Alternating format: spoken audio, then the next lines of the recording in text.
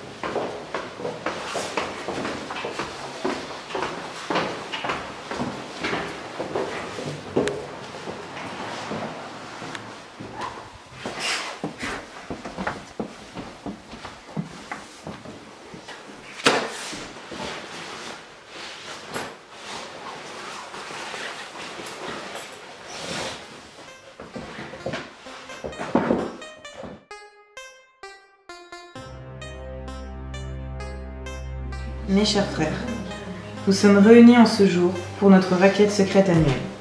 Cela fait 20 ans que nous agissons dans le silence à l'encontre de cette loi. 20 ans que nous continuons à faire perdurer les traditions. Et 20 ans que nous résistons à l'emprise totale de la nation. En ce jour saint, puisse la raclette vous être favorable. «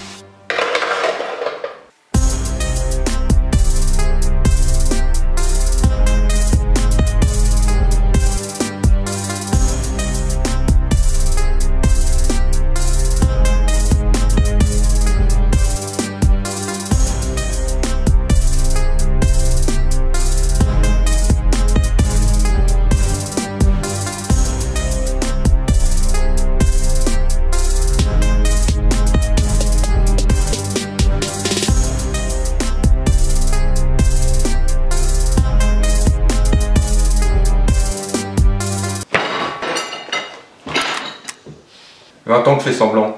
20 ans que vous me faites bouffer cette merde. Vous voulez jouer? Vous vous pensez au-dessus des lois? Vous avez même pas remarqué qu'il y avait une taupe dans le groupe. Cette putain de raclette sera votre dernière. Tu ne nous auras pas, nous sommes des milliers. Non, vous êtes les trois derniers.